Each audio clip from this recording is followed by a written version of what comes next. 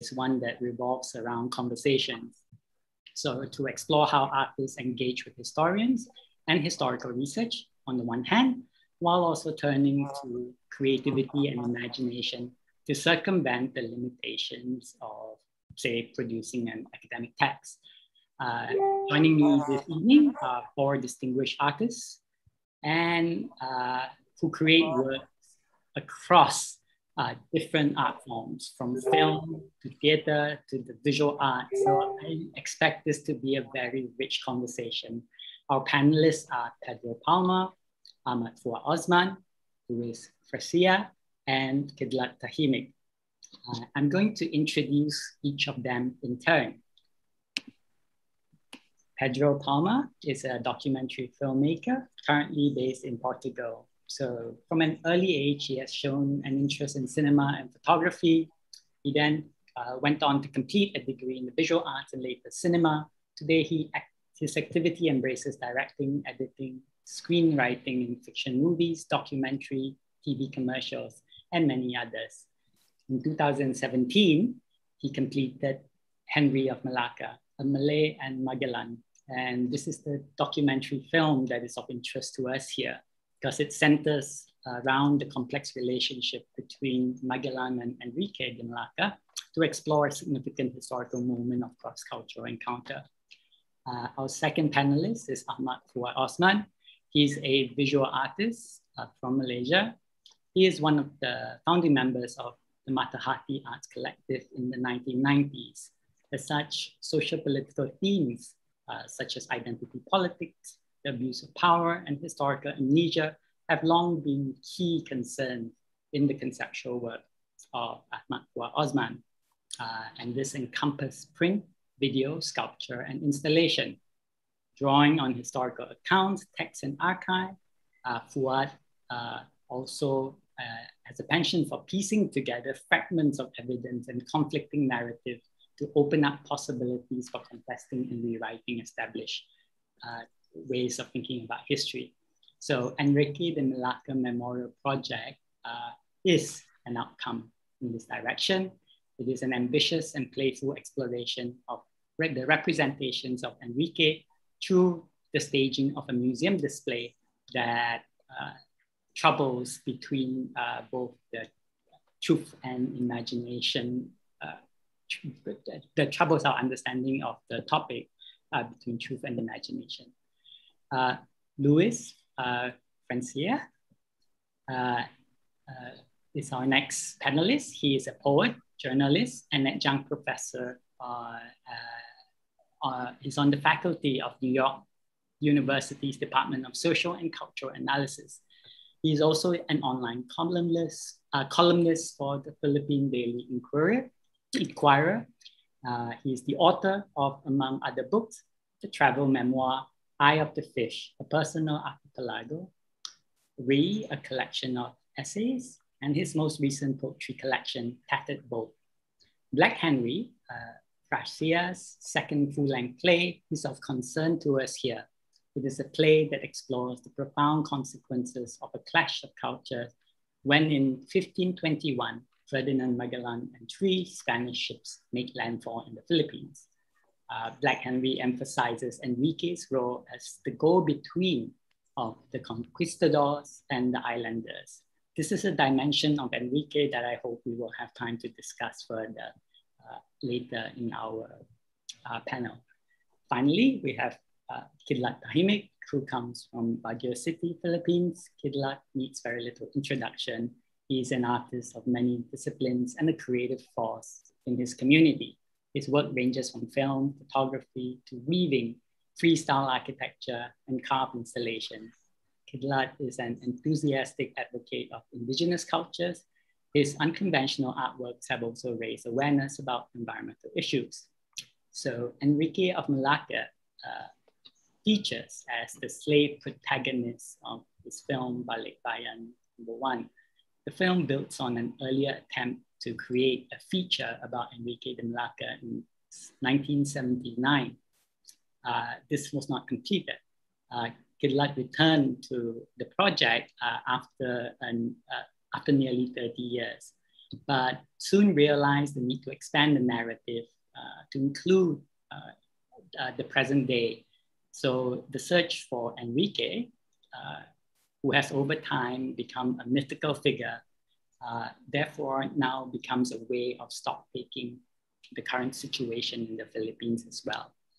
Uh, so despite the diversity of medium and uh, approach, as well as uh, how they have um, explored the figure of Enrique de Malacca, our panelists have in common uh, this interest in exploring the different representations of Enrique de Malacca in their respective art, artistic practices.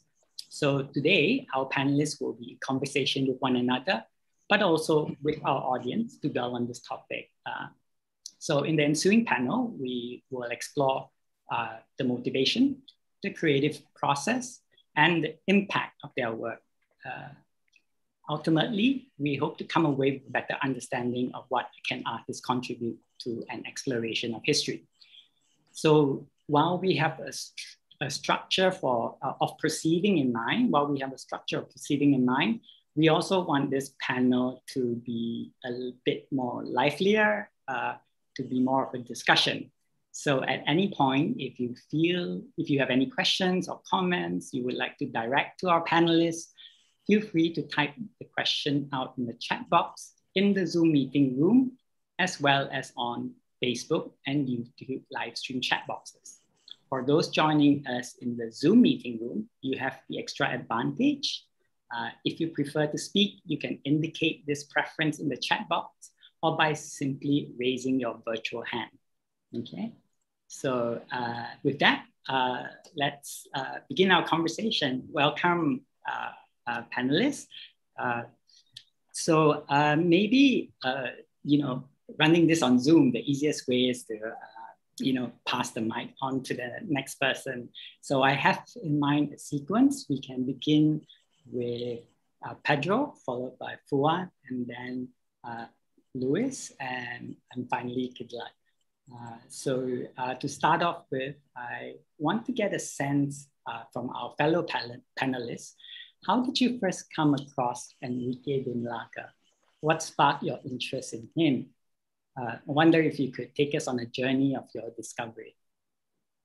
Uh, oh, um, thank you very much. First, I would like to, to thank this invitation by Contacts and Continuities uh, it's an honor to be present with this panel. Uh, some already know, like Kidlat from, from two years ago in Lisbon.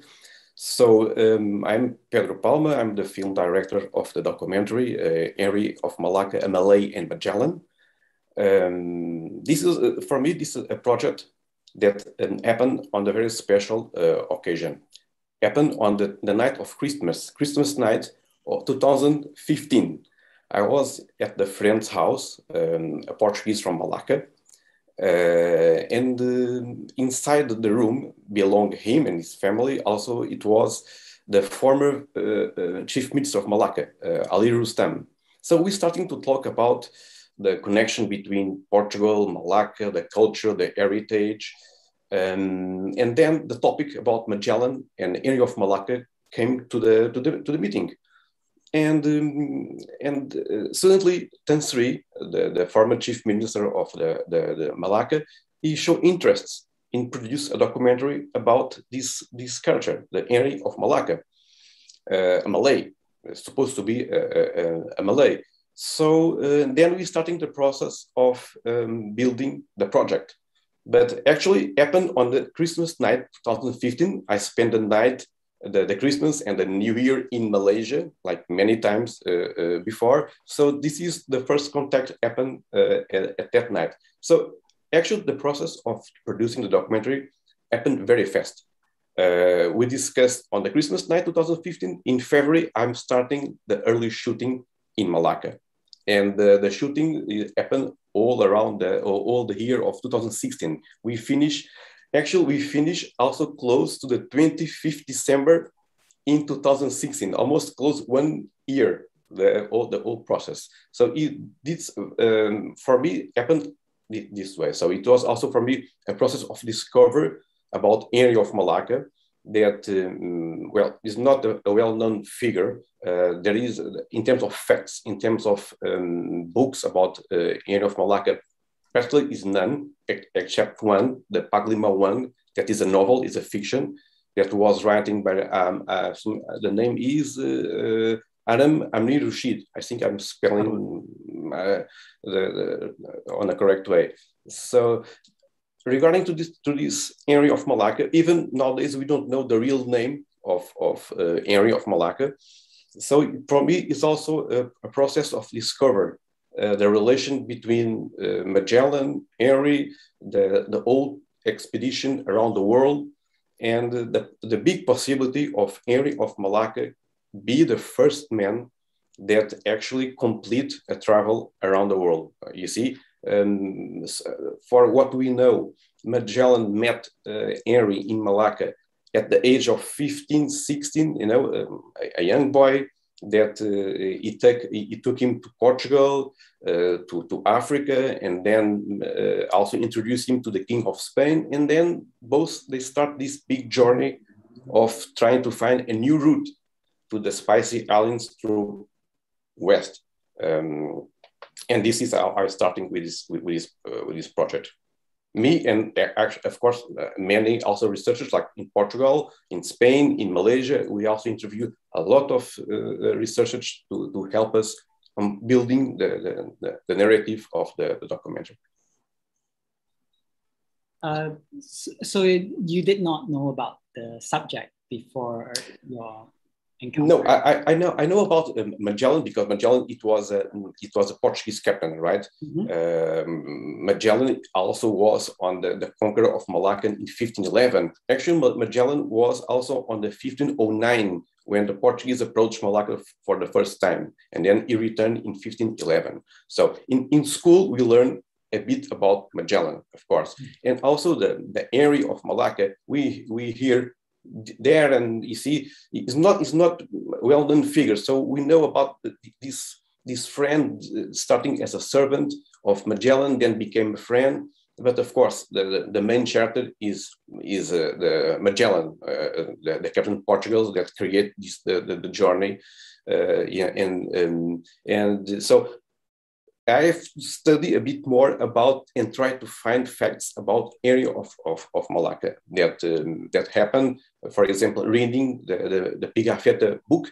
Pigafetta was the writer that, uh, that followed Magellan on this voyage uh, uh, 500 years ago. So uh, I was digging on the, on the book of Pigafetta, trying to find more facts about area, uh, area of Malacca. Mm. So, uh, I would you like me to share your trailer? Please, if, if you want, please, Simon, you you can you can show the trailer, please. All right. Um, just hang on a second. Okay. Uh, so it should be on the screen now, and I'm going to play. Uh, mm -hmm. It's two minutes long.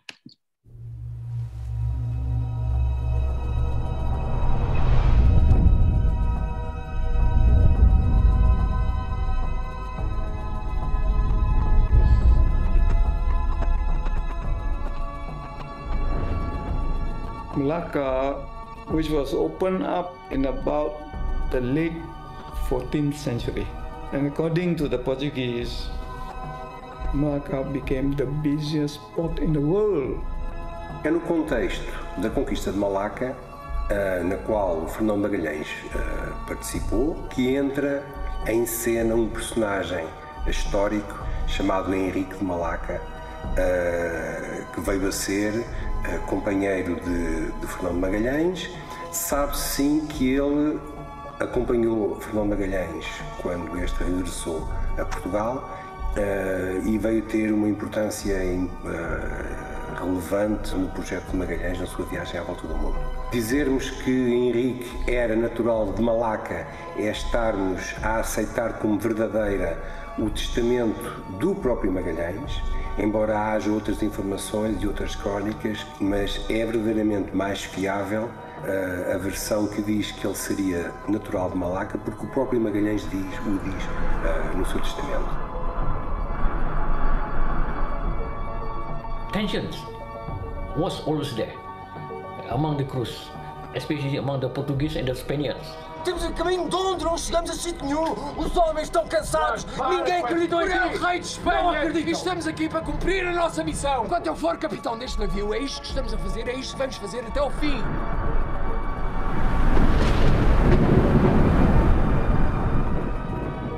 Después un océano incalculablemente largo. Después de haber conseguido todo, Magallanes echa todo a perder precisamente por esta idea de exaltación, de un transporte que yo casi llamaría místico.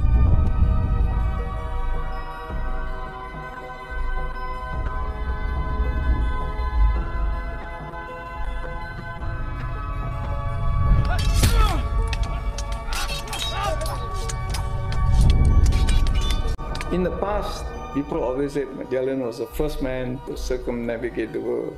But actually, he died in the Philippines. They did not complete the journey. But Panglima Awang went back to Malacca.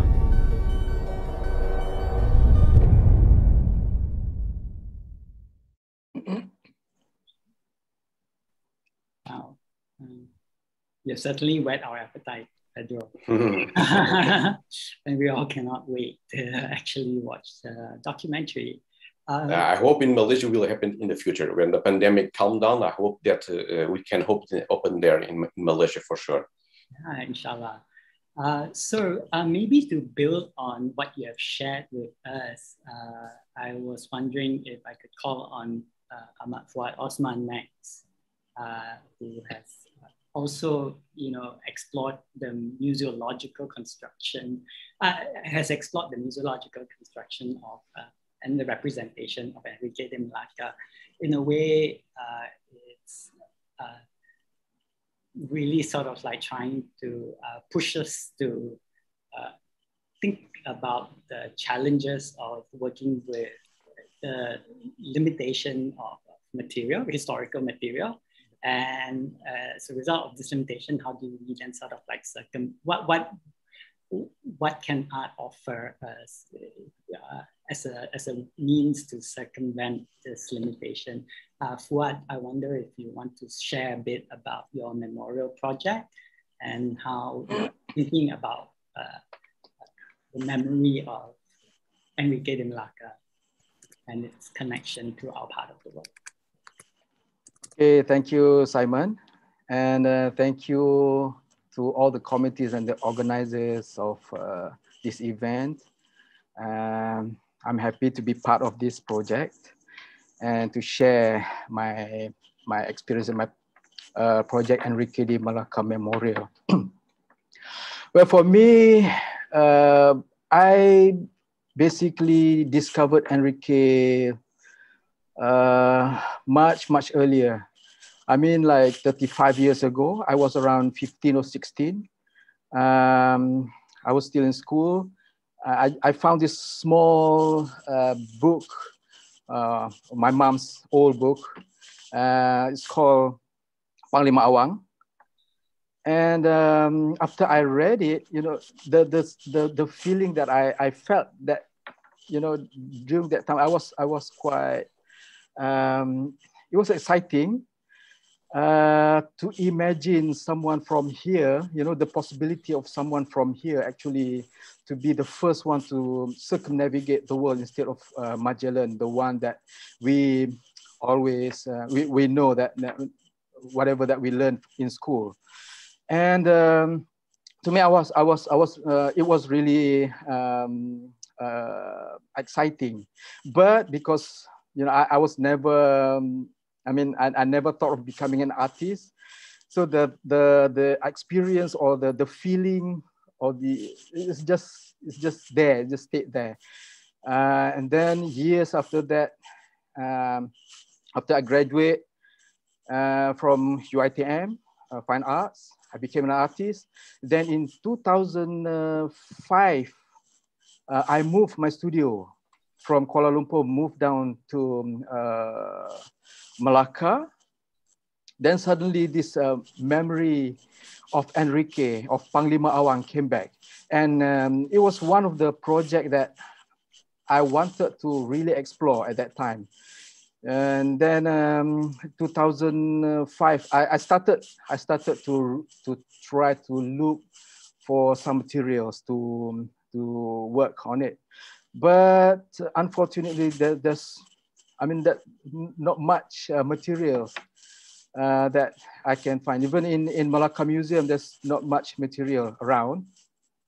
And then in uh, 2005, uh, late 2005, I have to stop because uh, I moved to Korea for a, a year-long residency, and the project halted again. And then I, when I came back in 2006, I started, you know, the project again. But when I started the project, um, I found it. Um, um, I mean, it, it, it can't be present. Maybe we can we can go on the slides. Eh? The uh, Simon, Simon will help me a bit with the slides. Uh, okay, the book that I first. Let me know where, where you want me to stop, or okay. should I go on? Yes, yes, yes. Okay, this this was the the the the the book that I read in 85 or 86, and I was around 15. So this Panglima Awang um, introduced me to Enrique de Malacca. And, um, and then I moved to Malacca. Uh, next slide, Simon. Yeah, that um, I, I was in Malacca. And then uh, um, I started to research and I start I started to have a feeling that I, I cannot represent the character Enrique de Malacca just by one piece of painting or just uh, a piece of sculpture because the figure is, is much bigger than that. So I'm imagining him as, as a bigger project. But of course, it, it involves a lots of funding, you know, uh, I need I need bigger funding. And the project halted again. So I have to do something else and work on other projects until 2016. Uh, next, Simon. Uh, sorry, 2015. A curator from uh, Singapore Museum called me up. Uh, this is re regarding the Singapore Biennale for Singapore Biennale 2016. And uh, she asked me if my work have anything that deals with um, Asian maritime history? Well, I, I told her at that time, um, I never have anything like that before, but I do have something that I would, I would really like to explore more. I would like, I would like to, to uh, produce. And I told her a bit about this whole story of um, uh, Enrique de Malacca, uh, Magellan, the circumnavigation of, of the world. And um, it, it's not just about uh, Southeast Asian or Nusantara maritime history. It touches also you know, in the bigger scope, you know, it's, it's a global uh, scope. And um, she's interested in that. So he, she asked me to send in the proposal. And uh, I sent in the proposal and that's, that's how it goes. You know, they, they like the proposal, they like the idea. And um, so um, they commissioned me for the Singapore Biennale in 2016.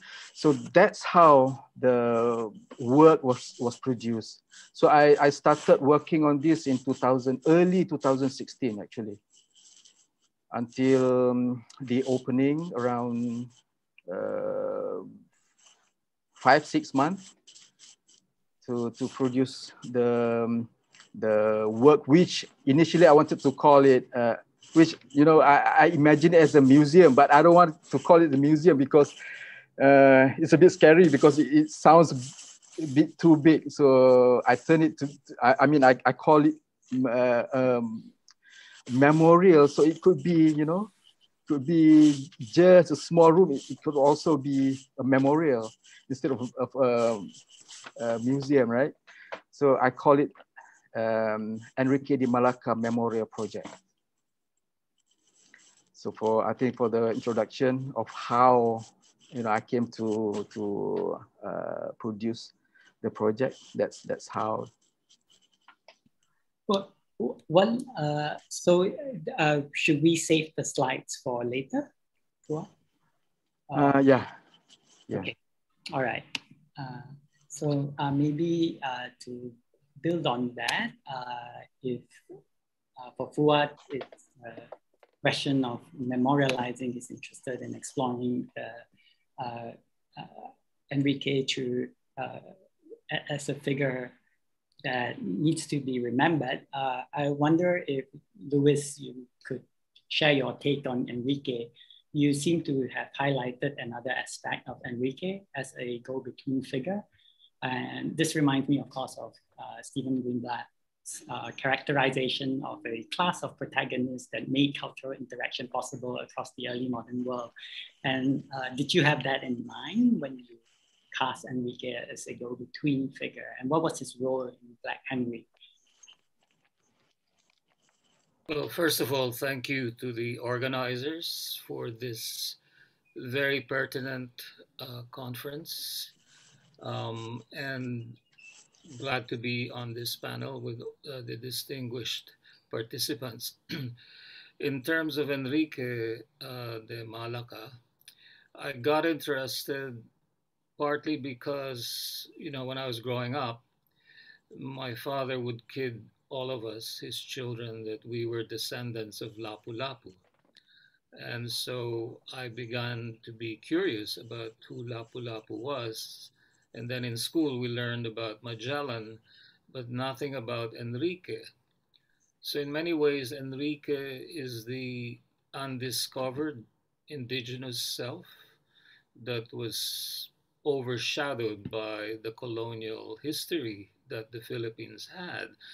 But at any rate, I read the journals of Pigafetta that was referred to earlier. Um, in the early 90s, I was able to borrow uh, the uh, one of the, it was a rare book because it had a facsimile of the one of the original manuscripts. So I read that and it struck me that Enrique is the prototype of the modern global Filipino. And in Cebu, he becomes important. When you read Pigafetta, he doesn't make an appearance until the expedition gets to Cebu. And suddenly he becomes very important because he speaks the language, he looks like the islanders. And of course, he speaks by now Spanish and Portuguese. So he becomes this link between the West and the East. And so I began to think, well, what kind of a person was he? What was his relation to his master? You know, because in Southeast Asia at that time, there was also the slave raiders. Um, and so I fictionalized a bit because, you know, my play is uh, fiction based on true events. And so I imagined him as being a captive and a slave um, to Magellan. and as I think Ahmad points out, and Pedro as well, he was a kid you know, he's 15, 16, but by the time they get to the Philippines, he's a grown man. They've experienced a lot of hardships, and he is um, faithful in the sense of doing all that was necessary to survive and to thrive uh, with Magellan as the uh, as his master because you have to remember most of the crew were Europeans. Um, there was certainly racism on the part of the crew who were mostly white skinned. And so that became a factor in the way I thought of their relationship. Although, of course, uh, that comes out later in the play. And I believe uh, I provided the link, uh, which people can view whenever they have the time. So I started to probe the character of Enrique. And you know, it's also symbolic that he becomes basically the first known overseas Filipino worker and the first balikbayan, which is the Tagalog word meaning returning to the home country. And of course, you know, I joke with my friends in saying that he was the first balikbayan, but he didn't know he was returning home, so he didn't have any gifts. Okay. And so we don't really know what happens to him after the ships, I think they were down to three, leave uh, the Philippines and return to Spain. And only one ship uh, makes it back to Sevilla. So Enrique, Enrique to me is both a human being and a symbol of the modern day Filipino. You know, if you look at the merchant marine and the cruise industry, uh, the majority of workers are Filipinos. And there's always been in Southeast Asia this sailing tradition and working on ships. So that will give you an idea of how I thought of Enrique in terms of his indigeneity and his race and his relationship with Magellan. And secondly, of course, I had to think of the character of Magellan. And it seemed to me too easy to portray him as a kind of villain, you know, the conquistador, because he was a human being.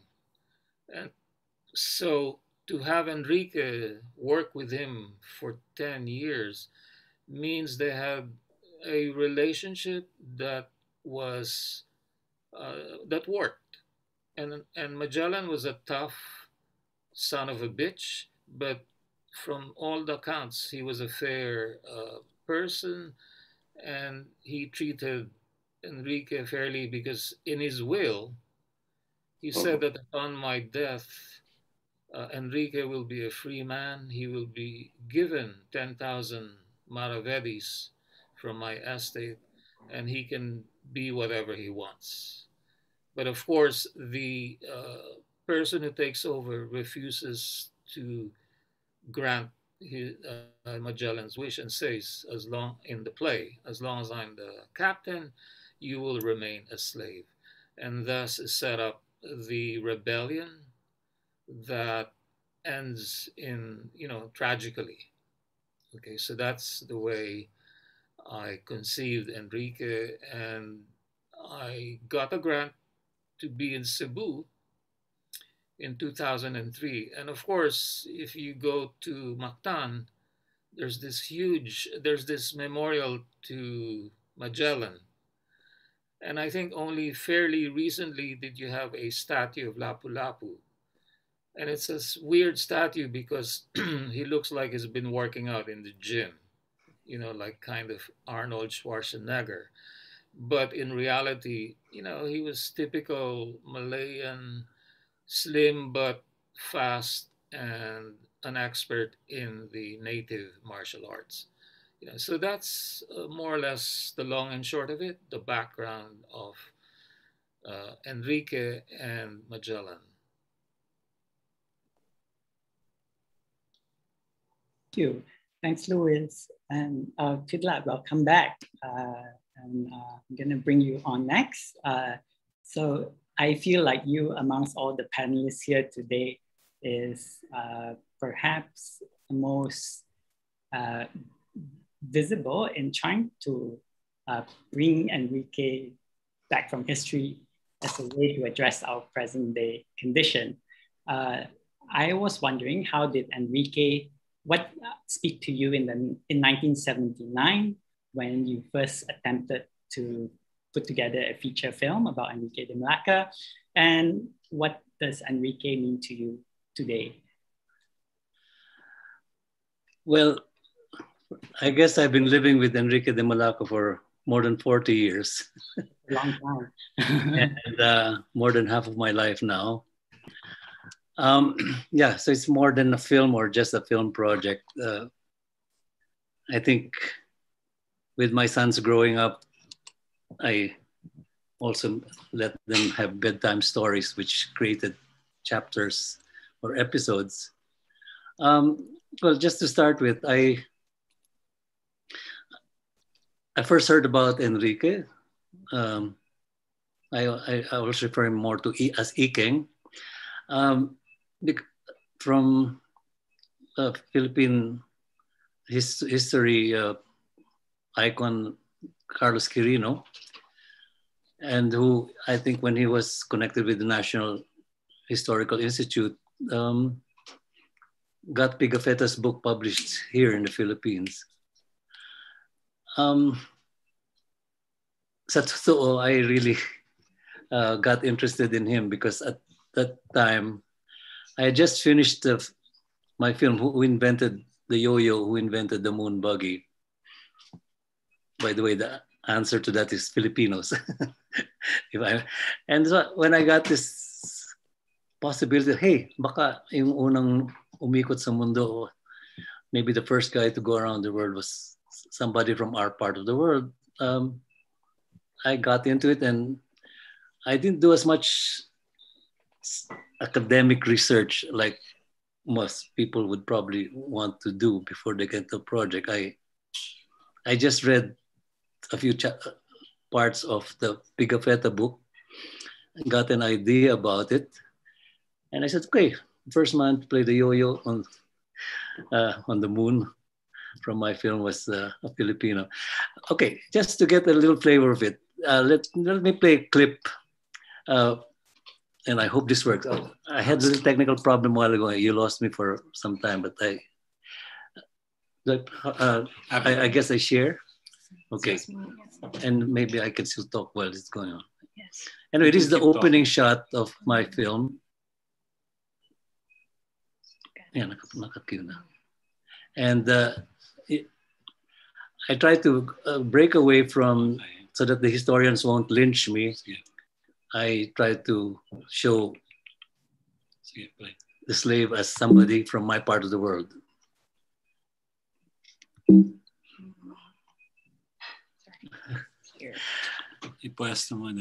You know, we had the test earlier. And... Yeah, no, this one, this one, this one. Sorry, sorry. This one. By the way, uh, Memories of Overdevelopment was my working title. It has never meant to be the, the full title of my film. I don't know why. Um, yeah, can start here. See, see, start. Explain it. Now a free man has returned home to his native village. On the soundtrack, we should hear sounds of a wild boar. How can I get this?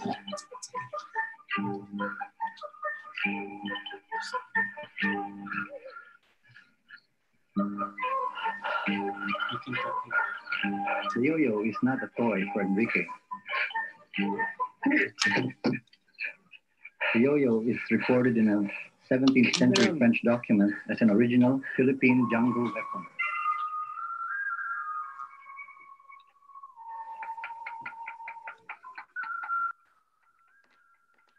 Enrique comes from Ifugao, province where woodcarvers are abundant today. Throughout the film, we will see Pigafetta writing entries of the voyage into his journal. But Enrique, being a illiterate, carves his memories of the voyage. Hey. Okay. Okay. Yeah, keep talking. You're, you're okay. Um, that is basically my opening sequence to show that I'm not trying to be a historian. I included him as an Ifugao, which is from my part of the world, partly because it was also an easy way to put him in a costume. And uh, I didn't want to go into the boxing ring of uh, the academicians. They, I understand how they build their blocks and make their history. So I don't want to get into any arguments uh, whether Enrique Ikeng was a from this part of the world, the Philippines, or whether he is Sumatran, as some people have uh, indicated, uh, or as in the last will, he's called Enrique de Malacca. Let's just agree that he's an Austronesian. He's from this part of the world, from this part of the islands. And maybe that language um, capacity of Enrique when he got to Cebu, we can split hairs on whether it was only kings who could speak multi languages. I think it's very significant that we're always used to Western history, and of course, the historians they have been very, the European historians have been very anal about writing every little detail about what their conquistadors did. And we always go by that history that, oh, sila pala yung palaging bida, sila yung panalo. They're the, they're the heroes always of their historical um. So, but when this uh, thing came to my attention, I said, it's interesting. And I, although Pigafetta only mentions Enrique four or five times in, in the book, uh, I think the gray areas make it fascinating for an artist to, to play. Now, is play always bad? Uh, maybe I have been able to envision a character who interacts with a well-known history uh, character in history. Uh, a while ago, Luis was talking about whether um, Magellan was the son of a bitch. but maybe I think he was he was he had a I think from his last will and testament we know he had a kind of a warm or kindly attitude towards Enrique. And from there, I think I later I will show footages just uh, how I developed that relationship between the slave and the master. Um, I don't use it. I don't write a script. I start. I I know I have a beginning, a middle, and an end. Uh, this guy comes from somewhere here, and he, by circumstance, uh, hitchhikes on somebody who has access to technology, somebody who has access to the king's money, somebody who has access to the latest maps from the university uh, chart makers. Uh, in other words, Magellan is Mr. Logistics. He's the guy who gets the ships and the knowledge together. But I think in the end, while he was the material master in this voyage, maybe the spiritual master might have been somebody else maybe, and I don't have any archival material to say that Enrique had some cosmology that made him, as an Austronesian, say, hey, let's try this way, or a homing instinct that, hmm, I want to go home and may find my way home.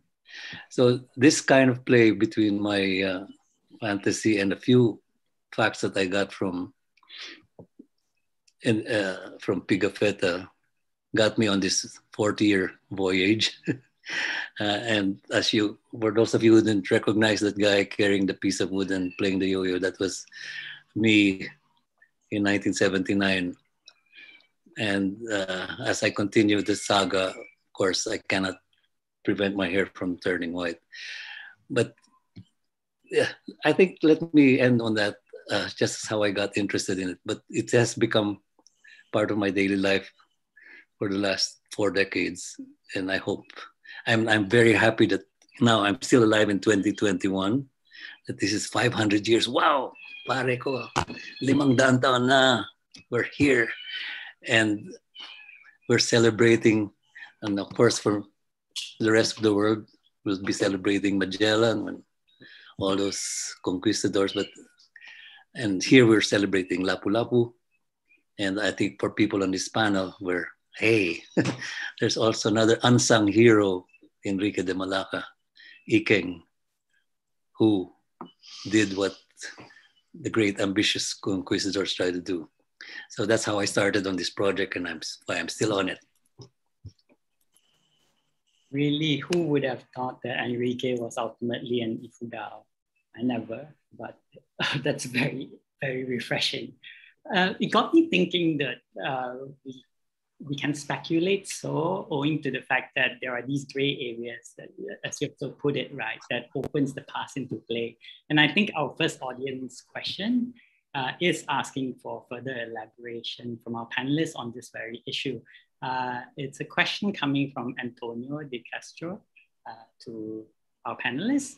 Uh, he asks, it would seem that Enrique drops out of any extent of historical records after Humabon turns his back on the Spaniards as a result of the defeat of Magellan by Lapu-Lapu in Mactan in 1521.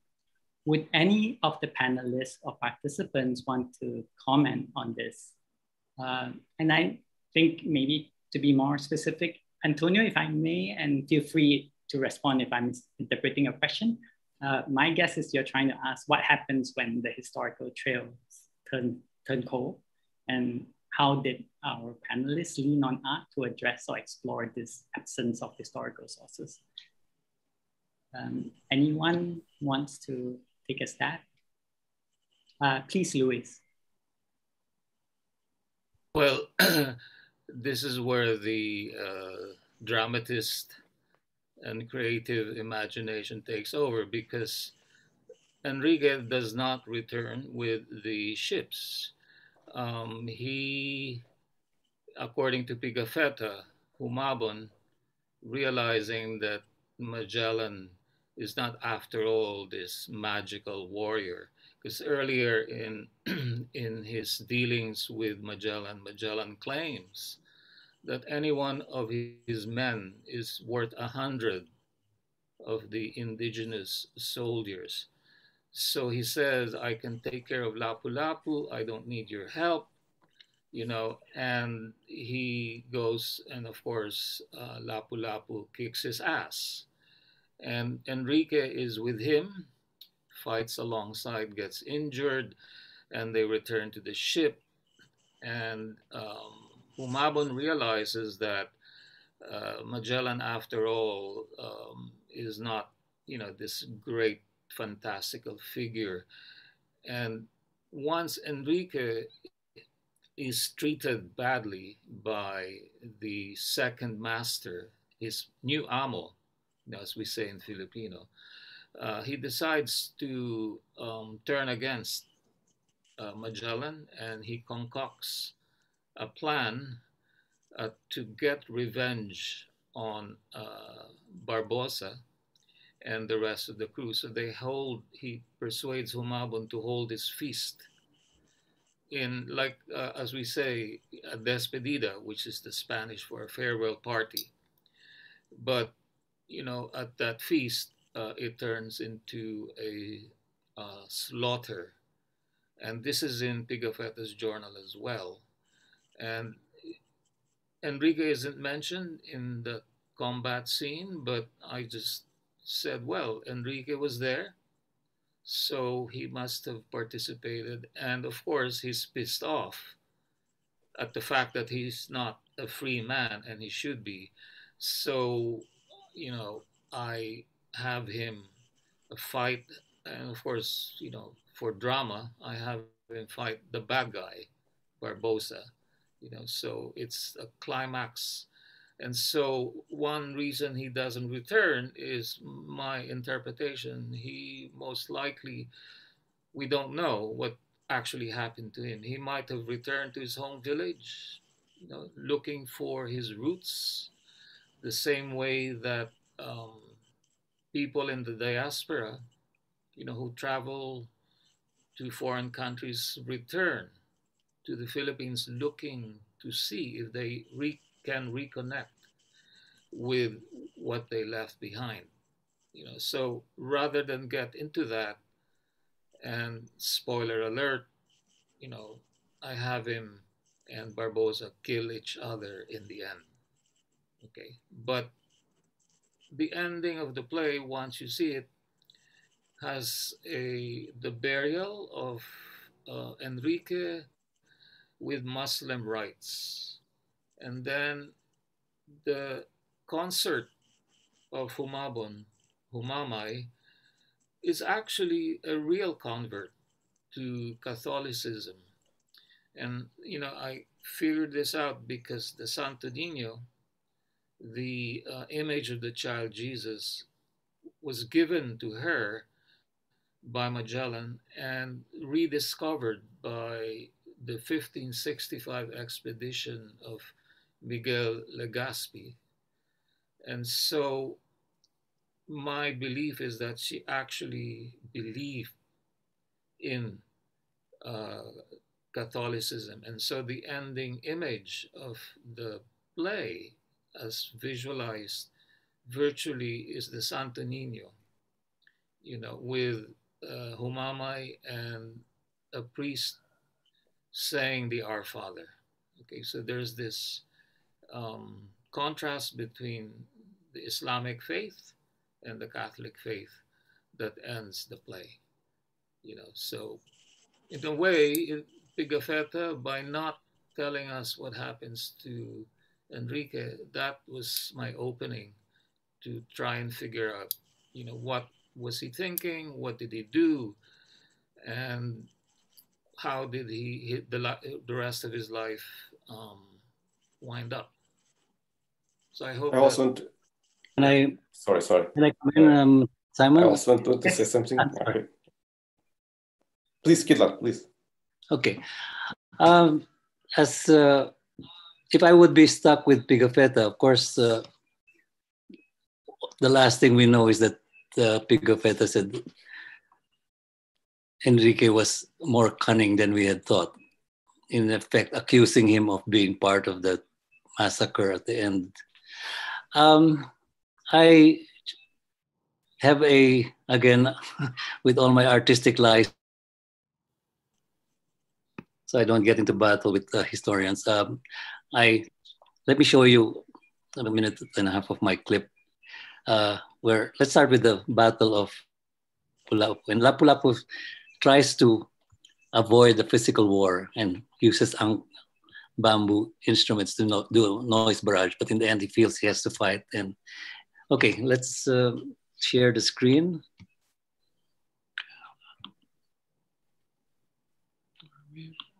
Here,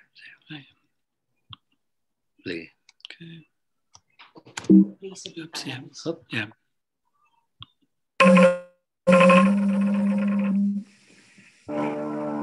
On board the ship, one of the sailors panics and fires a cannon.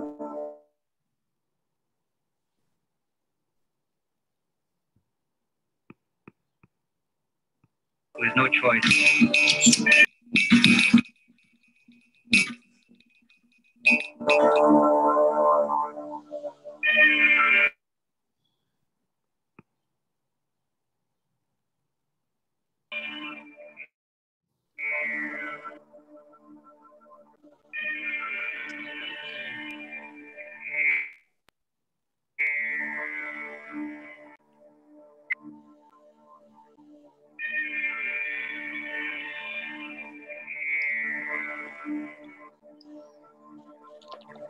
So, um, as Luigi said, maybe uh, he went back to his village to seek his roots. The village welcomes back Enrique and rejoices, not necessarily at the first circumnavigation of the globe, but just at the return of a lost son. And so Enrique returned to be able to tell future generations about the first circumnavigation of the globe. So um, I think I get away with history by allowing an interpretation, which I think everybody can agree that if he got back to his village, of course, there was a, a festival. Um, I tried to get away from the arguments of whether he was part of a conspiracy. Uh, it was just somebody with a wanderlust who by letting the cosmos bring him here and there, um, found his way across the world to another culture. And uh, I think here, I want to play just one more clip of how, um, another one minute clip, which, because I saw Pedro Sousa's. Um, Which one? This one, that one, that one. Yeah, that, It's just there already. okay. This is the Cañao. No, no, Which one do you no, sorry. Uh, this one, this one, yeah. Okay. Yep. Uh, in a way, uh, the meeting of um, of Maj- Okay, we have a flash forward a couple of years. Magellan has quit Portugal because the king of Portugal refuses to finance the big voyage that Magellan now plans to find a western route. He is now in Spain, in Sevilla, and after two years, he finally gets an appointment with King Carlos the First.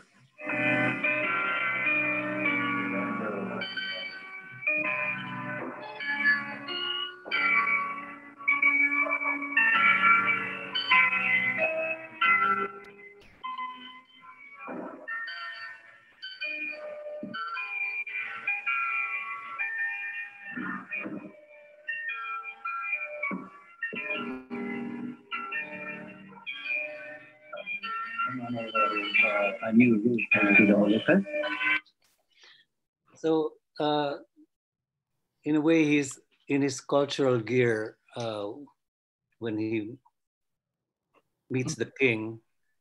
And uh, although um, Magellan has, whether he's using him as a prop uh, to convince the king that somebody in his team knows the way to the Spice Islands, uh, it's not important for me. I think it was just to have later he's coming back at the end of the film and that Cañao that dancing scene is just a way of closing uh, his reconnection to his homeland. Uh, it's not the same way as in the language uh, factor, which has been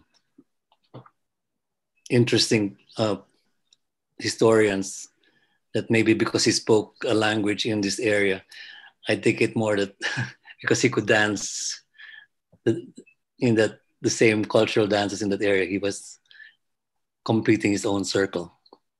Thank you. That was my little contribution. Go ahead, Pedro. Yes, uh, yeah, uh, thank you. Uh, so about this this topic that raised by, by the question, um, and because I did the documentary, um, is a more specific genre in terms of um, information. Uh, so I have to stick a bit about with the Pigafetta book uh, because this was uh, is maybe the only one book that we have that gives some information about the whole voyage and a bit about an area of, of uh, uh, uh, Malacca. Actually, Pigafetta say that after the events in Cebu, they lost contact with Henry. It's correct, he tell that.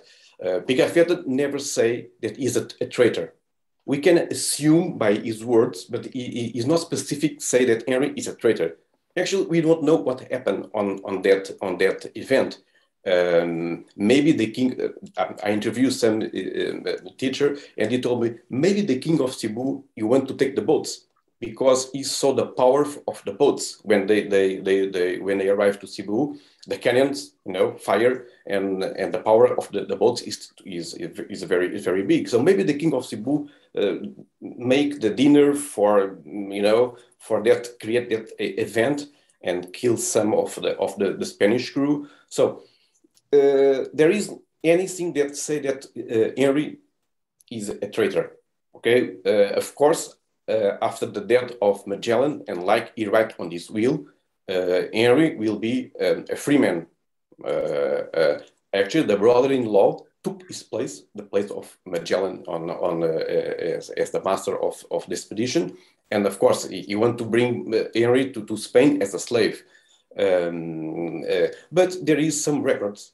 Uh, one of the the, the, the, the, crew members that arrived um, to Spain uh, one year after the, this event, uh, one of the 18 men that came in the, the ship Victoria and arrived back to, to, to, to Spain is a Portuguese uh, sailor. He told that after Cebu, the three boats uh, actually two boats they're around that area uh, so after the, the, the cebu they don't go straight to spain the crew the, the ship was around uh, cebu uh, borneo uh, almost touch malaysia then back again to, philippines. And one of, of the crew say that he sees someone in borneo similar to the slave of magellan. This is writing on the on some records in, in spain. So following this logic uh, if, if is this true, uh, that, that, the Portuguese sailor uh, saw someone similar to the slave of Magellan in Borneo, you see, is already a clue. From Cebu, maybe Henry take a boat easily to Borneo and from Borneo return to Malacca. So one more time, they open the possibility of the he be the first man that travel uh, um, around the world. But one more, we are assuming things. We don't have 100% proofs, uh, you see. Uh, something that, that I found during the, the research for the documentary, and I interview many, uh, many people, even about Magellan nowadays, we don't have much information. Is also a lot of um, uh, suppose that happened this way. Suppose even the, the first meeting that he had with the, the King of Portugal. Actually, we, we really don't know what happened during the meeting. If he tried to sell his project of expedition around the world or find a new route to the, to the space, there is no records what happened. So we just assume things. You see, even about Magellan, there is the information is also not much as we think. With time, of course, many novelists, many, many writers trying to dig and, and try to find more information about Magellan. But uh, actually, the both, even the both chapters, they have that in common. There is no much, of course, Magellan have more information, and less, but even they, they have this in common. There is not much information uh, that we can just pick a book and say, this happened like this way. And uh, on that note, I think, uh, Fuad, do you want to jump in? I thought what was interesting in your case is that you took a rather different approach uh, out of your memorial project. I thought I wanted to, to still uh, respond to, but we are running late, I think, right? Uh, no, we can sort of like go on. Okay, in and out, right?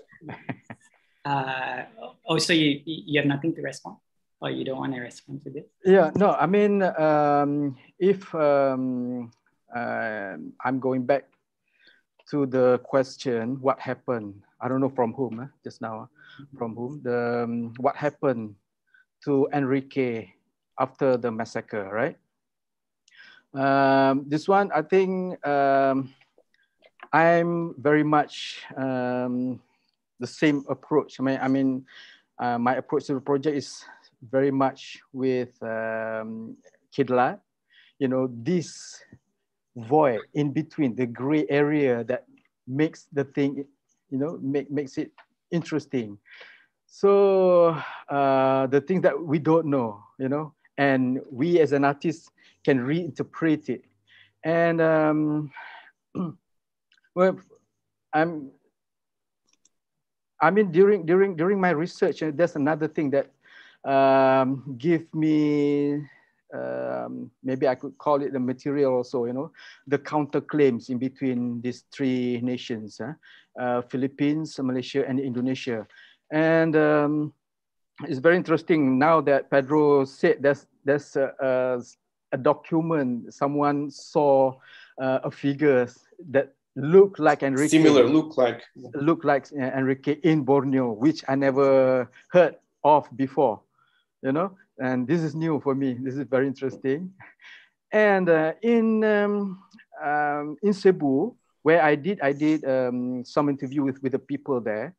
Um, uh, most of them they really believe that after the massacre, um, Enrique just stay on, just stay there, and they got married there, and um, go back to Kaka and have a descendant until today. But then uh, unfortunately, I asked them if there are any descendant that I could go and you know meet them. And they can't provide me. But uh, that one also I, I know it's it's from uh, Quirino. Um, you know the the history of uh, Enrique from from Kaka from uh, uh, Philippines, but uh, for the Malaysian version, um, Enrique after after the massacre, which obviously he's uh, much alive. Um, uh, some said that he followed a Bugis prince back to Sumatra first because he was wounded and he went back uh, to Sumatra to heal himself. And then after a while, he came back to uh, Malacca, but because uh, Malacca at that time was still under Portuguese, he cannot get back to Malacca. So he went down to, he went to uh, Negeri Sembilan to join a, a small community of uh, Sumatran, the Minang, Minangkabau people there. And um, there's also claim today that the, um, there's a grave of uh, Enrique. But uh, when he's, he went back to Negeri Sembilan, he changed his name to Datuk Laut Dalam. He didn't use uh, Enrique de Malacca because at that time, maybe uh, the Portuguese is still looking after him. And then he changed his name to uh, Datuk Laut Dalam. So he, he, he stayed on in Negeri Sembilan and um, he was supposed to die there. And there's a grave there. But the grave is Datuk Laut Dalam's uh, grave, which uh, there's another historian said that when he checked, you know, the, the timing, the timeline doesn't match, you know. So uh, still, we can't really sure that uh, this Datuk Laut Dalam is actually uh, Enrique. And then there's another uh, theory which is also, I, I, I just got it also uh, lately. Um, after the massacre, because uh, during the negotiation between uh, Magellan and uh, Raja Humabon, and uh, Enrique was an interpreter, and there's another guy from Thailand, Siam, from, from Thai. Uh, he was helping them. You know, so it's not really directly between uh, just Enrique and Raja Humabon.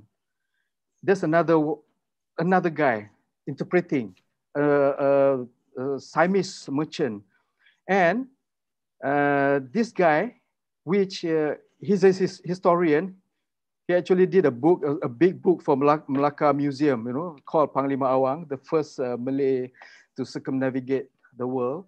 Uh, he's one of the three historians. They went through all, all the, the routes.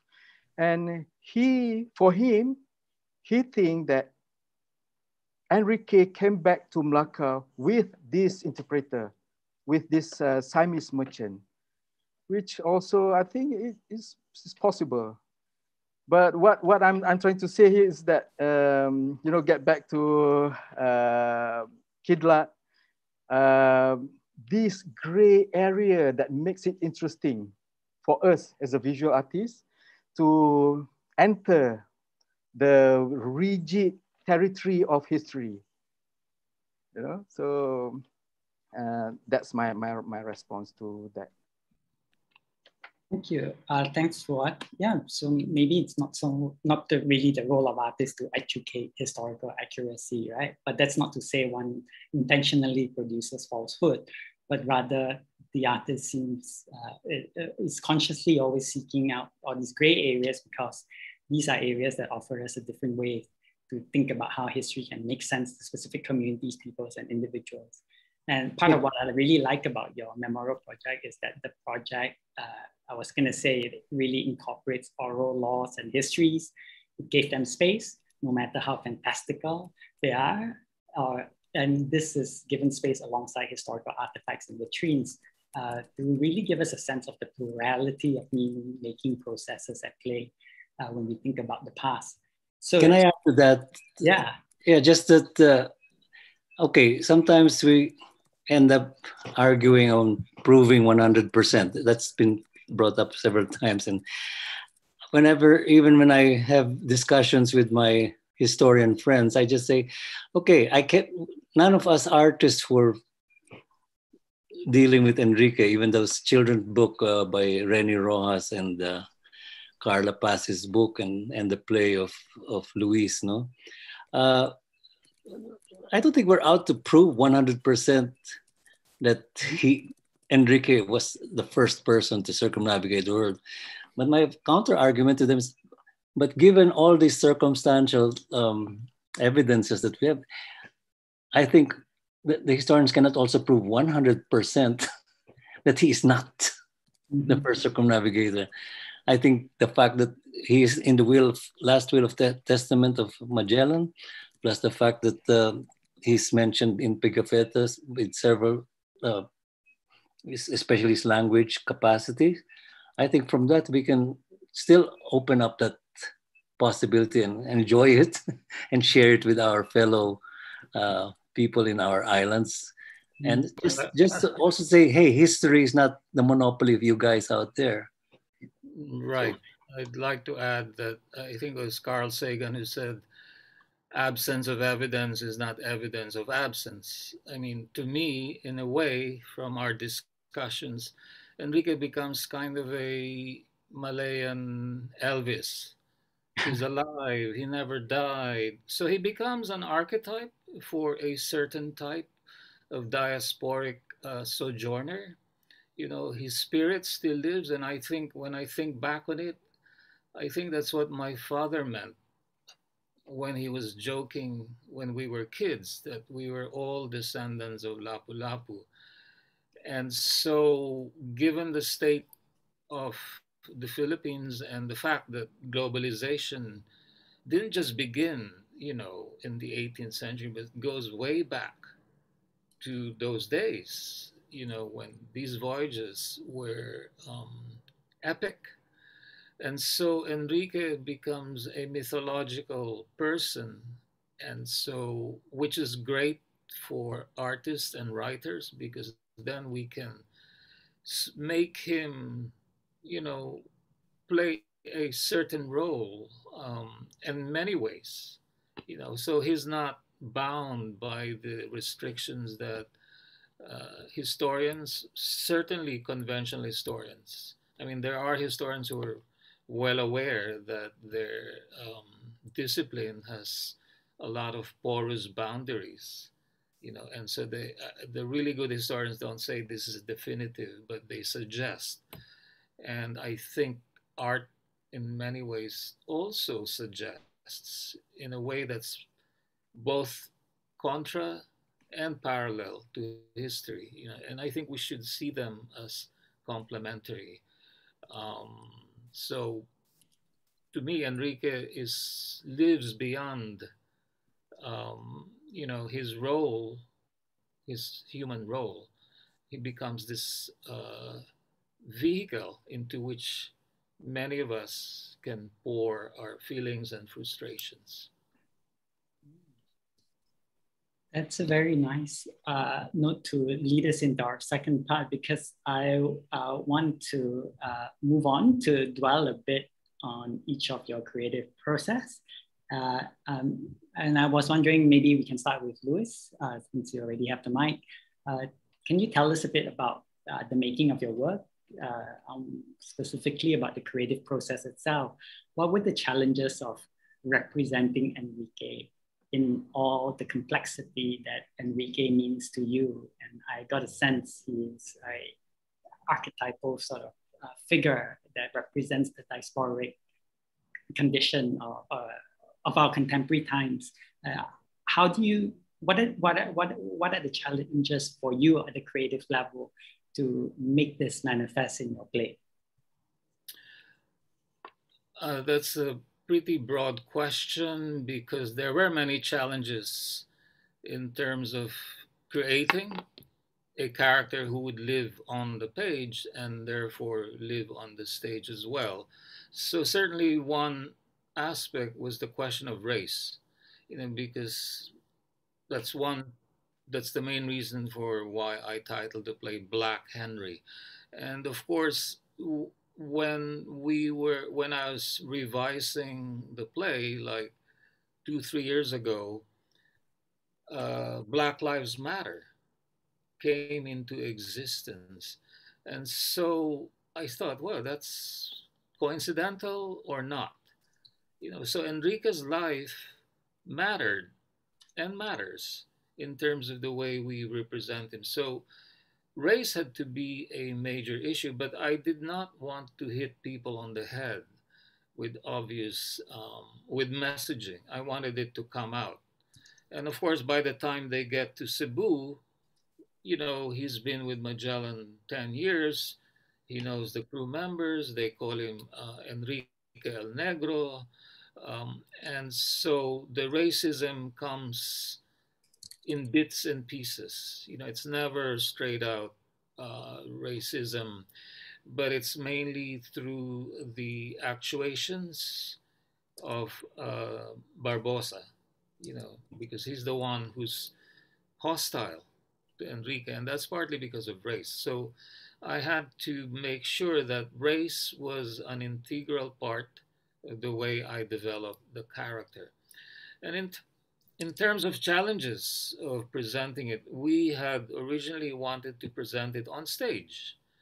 This was before the pandemic. And of course, once the pandemic hit, we didn't really have a physical stage and we had to then do it virtually. And that was really difficult because if we look at ourselves now, the Zoom, we're all lined up, right? But if you imagine all of us on the panel as characters, if I'm speaking as Enrique to Barbosa, you know, do I turn left or right? So the director and the uh, cinematographer had to make sure that the actors had specific ways to look.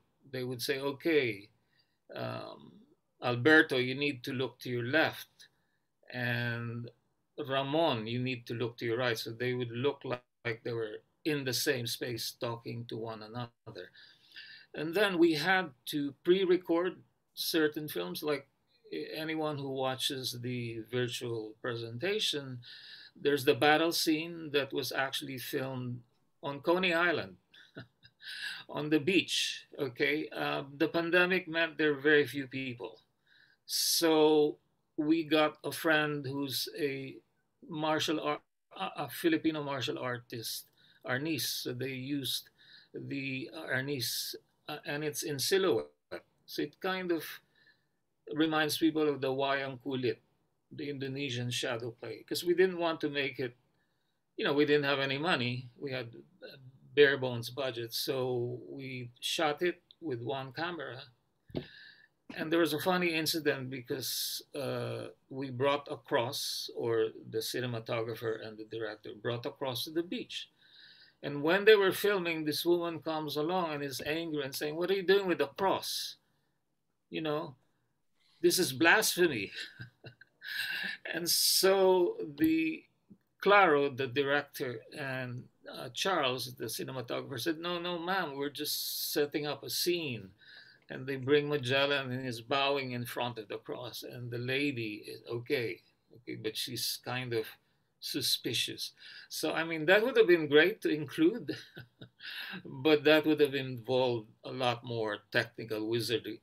And finally we did have we we did it through nyu and nyu hired a person who's very good at mixing uh, the virtual space with film and images. And in a way, writing the play was the easy part. Staging it virtually was very difficult.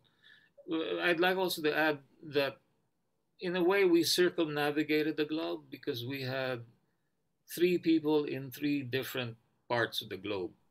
Uh, Enrique was played by an actor from the Philippines. We had actors from the West Coast and actors in New York. So that was one advantage of doing it virtually because if we wanted to do it on stage, we wouldn't have had the money to bring in people from elsewhere. Luis, my first impression on the title of your play, Black Henry, I uh, immediately made the association and hit and connecting it to the Black Atlantic for some reason. Of course, Enrique crossed the Atlantic uh, before the slave trade came into being proper in the late 16th century. Yet, you know, as a as a slave himself, it almost seems like he presaged he presaged the Black Atlantic to come, right? Um, but I, I, also felt like there's almost very little effort to imagine Enrique's voyage through the America. And being based in New York, uh, I was wondering if you have any thought on this or if this was ever uh, on your heart.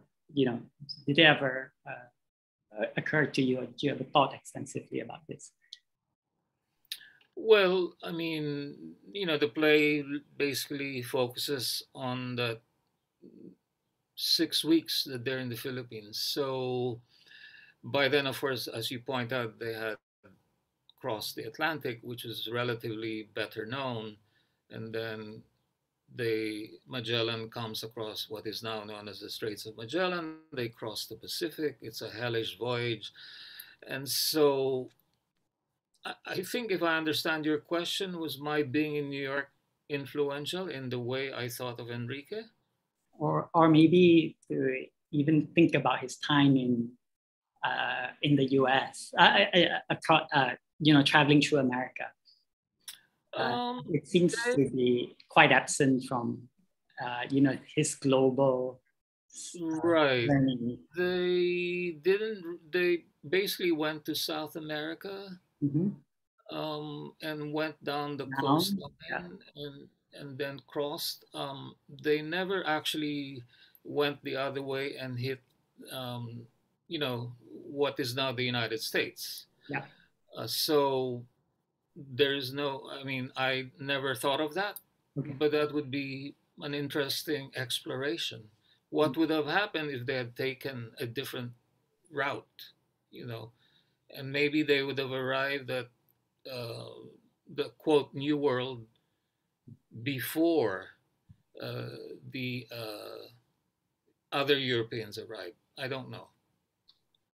Thank you. Uh, can I just comment, Luis? I uh, I saw your play, and I think it's a pity you can't show some clips now. But uh,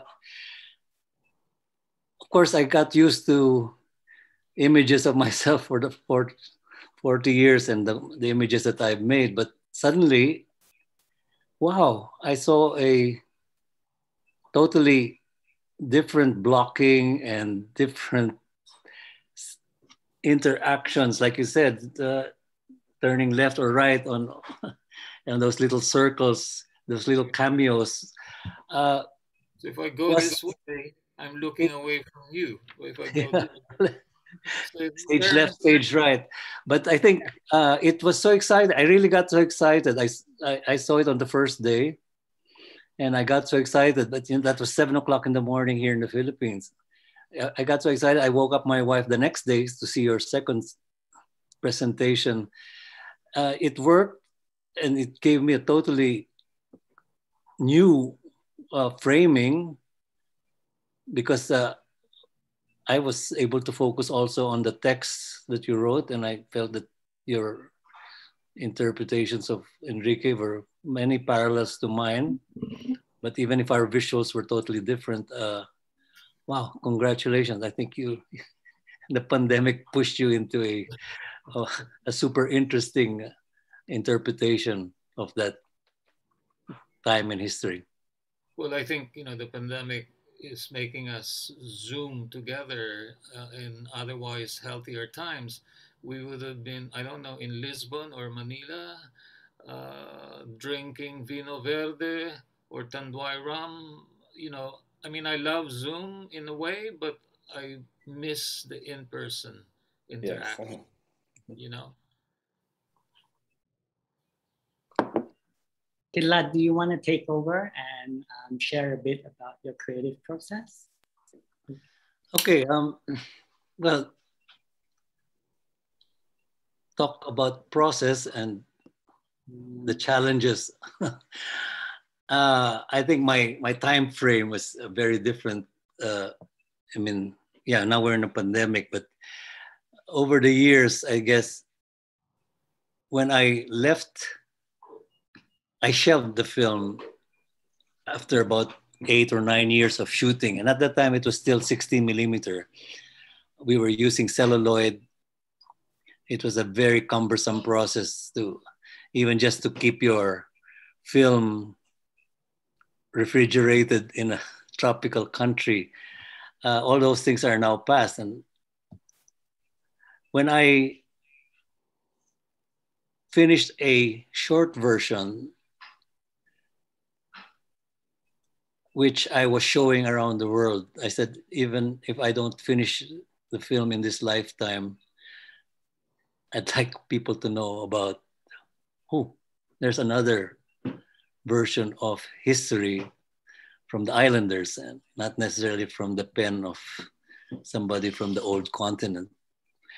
So when I decided to resume really full blast, it became a challenge. Um, partly because, okay, if I were doing a film in the usual casting and big budget, I think, yeah, it would be possible for some casting agent to look for somebody who looked like me 35 years ago. Uh, and even the Magellans or, or, or Pigafettas, but all my characters had grown older. We have wrinkles, we have pot bellies. Um, somebody was talking about how slim Enrique de Malacca was. Uh, so I, the main thing that was my challenge was, okay, my 20, uh, my 30 minute version that I've been showing around did not really show that language uh, factor, no? And I thought maybe I should find a way to bring that, well, 500 years later. So I want to show you a clip of um, how I dealt with the, the footage you saw earlier was me in my younger days. Uh, now let me, I'll show you about two and a half minutes. Uh, okay, it says just how I dealt with it. I used my grandchildren, I used my sons, and uh, and how I dealt with the language, which is what most people who are fascinated yeah. that he could speak the language. Go ahead, let's play. How many languages did he learn? Long before the days of the benevolent empire, colonizers knew the formula that language is the key to empire. How did Magellan slave become part of that empire? Merely learning to speak Espanol or portugués. Repete. Yo, yo, yo soy, yo soy, yo soy libre, yo soy libre, yo soy hombre libre, yo soy hombre libre. Sí. Ya soy marinero. La, ¿Yo soy libre? ¿Verdad? Sí. Oh, muchas gracias, capitán.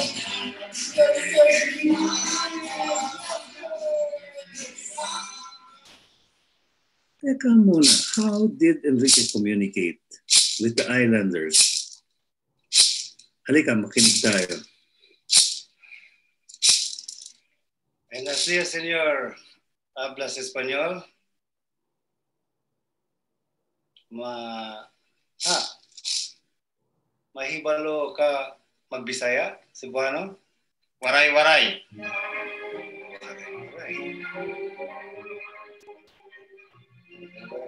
Uh, Pulo, Cebu? Limasawa. Limasawa. Ah. Waray-waray. Waray-waray. Bahala na bukas. Warai, warai. Manigas. Okay, one more time. Warai, warai, warai. Bahala gugas. Warai, warai, warai. Manigas. Warai, warai, warai. Bahala gugas. Warai, warai, warai. Manigas. Manigas. Manigas. Estia señorita. Uh, ah, hablas español? Mm, oh, ako kasabot ni mo akong tinuriyahan kay Bisaya. Cebuano. Bisaya? Ay, balo. Kung mag-Bisaya. O ba? Unsay mo kay balaan?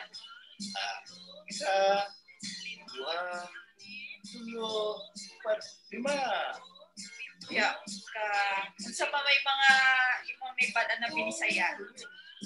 Bungot, ah, lubot, tinting, lapu-lapu. Ano ni mo may balaan na binisaya? Sa Cebu, sa anak imo, sa imong anak, kalipay. Ya, ka unsay pasabot sa kalipay? Kalipay, um, kalipay. Kalipay. Kalipay!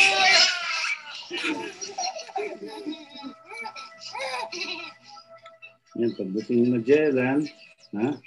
Nakasakay siya dun sa vapor. Tapos nakasulat dito, So the little brown men from the island came to meet them. As the brown men laughed and shouted, Enrique suddenly cried, I understand. Naintindihan ko anong sinasabi nila. Yan ang mga usapan namin in our islands. Tapos anong sabi ni Magellan? Ha?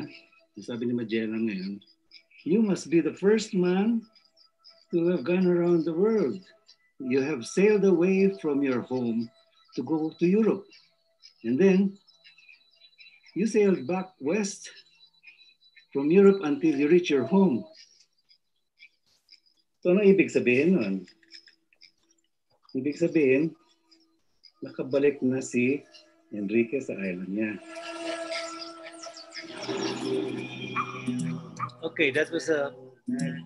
Am I on mute? That was my challenge how to continue the story 40 years later without trying to get continuity in the actors who had all grown older. But by stylizing it that way, I think uh, it became more personal also because it's those are that my Magellan was now played by my son, uh, and then my grandson has also entered into the picture. Uh, it became a multi generational way of filling in the blanks, and uh, I guess it paid off. 40 years of just waiting for my son to grow and have a big beard looking like Magellan. But these are what you do when you don't have the usual protocols of a big Hollywood production with big Hollywood money, looking for actors who look like they you did 35 years ago. And instead telling your story as you let the cosmos guide you through your next scene. And uh, there, Enrique has come home, even with white hair. Thank you, Kidlat for sharing. Uh, and um, maybe uh, I can ask Fuad to speak next. Uh, Fuad, um, I was wondering in your memorial project, there's an intentional desire to really blur the lines between what is fact and what is fiction. You know, you intentionally manufacture uh, uh, artifacts, and these were then sort of like put uh, on display together with real antiques that you have, uh, you know, you, you have amassed during the course of your research. What are you hoping to achieve by, you know, uh, showing, you know, these side by side? and how did you come to sort of like decide on this uh, museological method of displaying uh, made objects as well as stuff that, uh, that, that you have also found on the antique market? Uh, okay. Um, Do you want me maybe to? one, one, one, one of the, yeah, maybe you can, we can um, uh, look at the slides again. Uh, okay, when, um, when I first really uh, kickstart the project, I mean, you know, for, for the Biennale, uh, when I got some backup, you know, some, some funding, then only I can really go deeper into this. Um, one of the first things that I have to solve is how to present this character. How, how do, you know, how do I present him, Enrique de Malacca? First, as Enrique or Panglima Awang? Because I, I, I have some, some, some people ask me, oh, why do you use Enrique? Why don't you use uh, why, um, Panglima Awang? Uh, that's one of the things that I have to really uh, sort out. Uh, for me, on that question, I have to go for anything that is real. So Enrique was, you know, his, his written name. And we all know that Panglima Awang is only his fictional name. And um, I want to use his, his real name for the, for the memorial. So, and uh, that's one of the things that I have to, to um, uh, negotiate during the first, um, first phase of my research. And um, Another thing is that because of these counterclaims in between these three countries, uh, Philippines, Indonesia, and Malaysia, how do I present him, whether as Malaysian or as Filipino, as uh, Indonesian, even though I'm, I'm a Malaysian. Uh, so I thought I, I cannot really just uh, claim it, claim him as Malaysian just because I'm a Malaysian, even though uh, it, it was stated clearly uh, in uh, Magellan's will that he's a native of Malacca. But then uh, we have we have uh, other documents also stating uh, him that he was actually from uh, Sumatra, from uh, Pigafetta. But then in Maximilianus' document, he was actually from Moluccas. And then for Carlos Quirino, uh, he's from Philippines, from Cebu. So which is, which character, which, which, uh, which one should I present him? So uh, at the end of the day, all these things, I have to make him like in between. Um, so I chose um, this character um, because according, according to Indonesian, Indonesian uh, historian, uh, Enrique must have looked like uh, somebody who came from um, uh, Papua. You know, this this black and a bit of um, uh, uh, you know uh, Australian Aborigine look, something like that. But I thought that it would be a bit too specific on just one side, which I wanted him to be a bit more uh, general so that um, but it's, it's, also very important for me to, to put him um, in an open ending um, platform so that we can still enter this uh, near mythic character from anywhere that we wanted to until today. So the, the dialogue will still be going on. So I intentionally choose that he must have this kind, he must carry this kind of character. So that's why I don't go to, you know, too, too black, even though they call him Henry the Black. Uh, so that's one of the other, the thing. And um, uh, in terms of other challenges that I, I have to deal with is that uh, because Enrique, uh, like I mentioned earlier, it deals with these uh, three countries. So my research have to cover all these uh, three countries. So I have to cover uh, Philippines and Indonesia and Malaysia.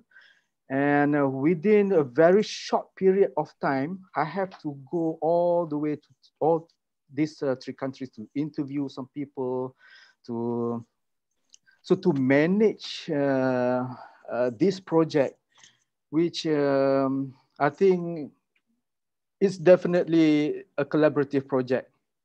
Uh, I can't I can't produce it alone, of course, because this the scale of the project. uh, I think uh, at the end of the day, I think I work with around 70 people, you know, for the, the film production, for the um, objects, for the uh, prints, for the painting, for everything, you know. And uh, to manage uh, all these 70 people within these few months is really uh, challenging, is really hectic, I must say. And then um, uh, Enrique, uh, there are people that that uh, thought because uh, for for Malaysian, uh, obviously they are hoping uh, to see uh, Enrique to be represented as a Malay, as a Muslim, and um, which, I mean, in in the movie, in the main video, which is an anchor to the whole project, um, I somehow try to bring in these uh, Malay elements or Nusantara elements, which I try to incorporate uh, this um, because I, I have to imagine how come Magellan became very, very close to this guy. He's a slave. He's just an assistant coming all the way from uh, Nusantara. But Magellan treated him very special. And um, and then also he survived this whole uh, experience, especially with this uh, three three years uh, expedition. So all these elements I have to think, and in the the movie I try to bring out the elements of uh, you know the uh, mantra and the Sufi um, Sufism Muslims um, uh, teaching inside this uh, video, you know, to, to, to characterize him. Uh, but still, um, I somehow still try to make him as, as open as it could so that I, I don't want to put a, uh, to put a full stop just yet because, uh, you know, there are things that still coming in. So um, um, for me, I don't know for how long, uh, the project is still going, ongoing, you know. Uh, so that, that's, the, that's the process I have, you know, I can share with you.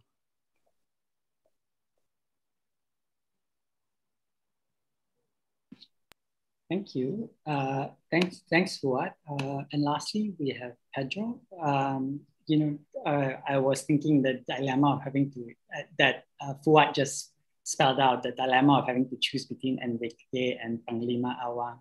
I, I cannot help but notice that your documentary opened and closed with an interview with the late Professor Khoo Kay Kim. Uh, of course, he's a renowned historian from Malaysia, but in the closing words of Professor Khoo in your trailer, he names the first person to circumnavigate the world as Panglima Awang the eponymous hero of uh, the 1958 novel by Harun uh, Aminurrashid, right? Uh, so it is, I think, uh, quite a peculiar moment where a historian turns to the speculative and the fictional and the imagination to challenge uh, what would be a Eurocentric narrative of history, or which he, he is a trained disciple of. So what do you make of this, uh, what was being said by uh, Prof. Khoo the late Prof. Yeah. Yes. Uh, well, if you believe strongly that Henry arrived to Malacca, uh, well, I'm not. Uh, of course, if you believe, it, for me, it's fine. Uh, some people believe that he, he arrived. Some don't have the the, the the all facts that we can say that is true. Uh, but during the process of doing the, the, the documentary, and because it's a documentary, um, uh, one thing I, I'm trying to do and I do this way because of this. I see, even in Portugal and in Malay, a certain confusion. In Malaysia, also a certain confusion between the Panglima Awang book and the true story that came on, on, the, on the book of, um, of um, Pigafetta. So, so I was worried that that that um, that facts uh, confuse uh, people's mind. And um, even in Malaysia, uh, I have I visited Malaysia many many times, as as, as I told you yesterday. Uh, I, I, make many documentaries about the Portuguese settlement in, in, in Malacca, and I was aware that the people in Malaysia did not heard much about Henry of Malacca. In Portugal, the same. Even Magellan in Malaysia, Singapore is a name that don't say anything to, to people. Uh, in Portugal, area, Henry of Malacca, the same.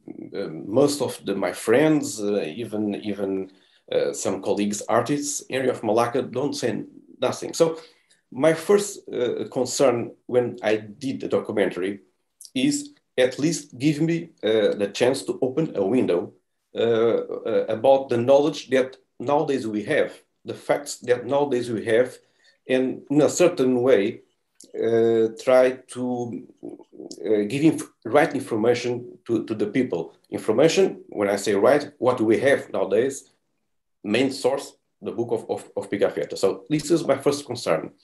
Uh, give some information, try to the people learn what was the expedition, what was the relation between Magellan and Henry of Malacca, uh, the way uh, uh, um, Magellan say on his will that uh, Henry is a, a native from, from, from Malacca. And to achieve this, I follow two, two, two ways. Uh, the documentary style with interviews to find, uh, to try to research, talk with uh, teachers and historians, uh, go to the places. And this, this, this documentary took me to many places like Argentina, Chile, the Strait of Magellan, Philippines. I was shooting in, in Cebu with a, a very nice crew in, in, in, in Cebu. Uh, at, at the same time, I also try to create some fiction, fictional scenes. Okay, as you see on the on the trailer, we have the, the, the interviews, but we have some scenes on the on the, the, the main points of this whole uh, history about uh, Magellan and, and Henry. Of course, when I finish the documentary, and go to so many places like San Julian, San Julian in Argentina, where the crew stopped for five months, when we have so many problems with Portuguese and Spanish and Magellan, and you know some punishments, very hard punishments that Magellan did for, for the for the Spanish that trying to to to betray him. And when I finish the documentary, I want to give the step. Okay, I did the documentary. Now I want to do the movie but of course, this is more complex. Uh, for we do a movie about the, the old story, even a movie about the point of view of Henry something that is, is on my mind for two or three years. Instead of a movie about the, the, the old trip of Magellan on the point of view of Magellan, why don't do a movie on the point of view of the Henry? No, the kid that of the 15 years old see the white man conquer the town, then pick up by the white man, go to Portugal, learn Portuguese, learn Spain, met the king of Spain, and then starting a big journey. All, how, how, the, how, how his eyes as a Malay or a Filipino uh, uh, see the whole complex uh, uh, uh, trip and the fighting between the Portuguese and, and the Spanish is also is, is on my mind. So if one day I can do a movie like that, will be wonderful. But as I, as I told you, um, people have different opinions, of course. Maybe the Malay side, they want to believe it and they want that, that the Henry of Malacca uh, return to Malacca. It's possible, okay? Uh, it's possible. If, if it was uh, see in, in Borneo, also is not a true fact, but someone said, a, a crew member said that see someone similar to the to, to Henry in Borneo. Maybe from Borneo it's easy. You take a boat and back to, to, to Malacca. Even my friends from Malacca, usually they say that all the Malaccans love to back home. They don't, they, don't like to stay outside Malaysia. In the end, all went back to, to, to Malaysia.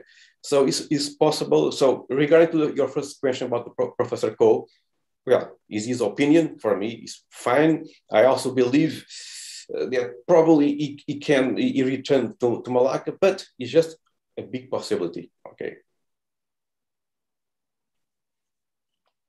I don't want to dwell too much on you know what is historically verifiable or not, and maybe to use the remaining time, uh, perhaps we could dwell a bit on a comment made by an audience member. This is from Ninot Aziz, uh, who wrote on YouTube and I'll read out her comment.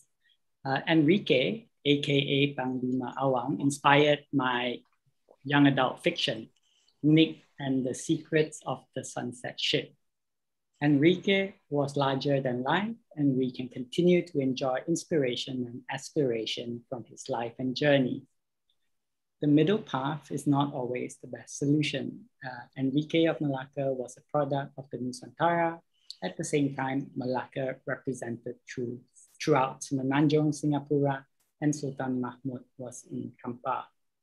There was no Malaysia, no Indonesia, and no Philippines. There was the Malay archipelago. All countries can today embrace his legacy together.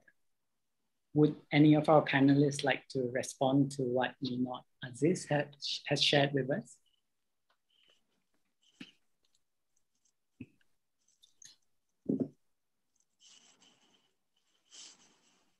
Well, um,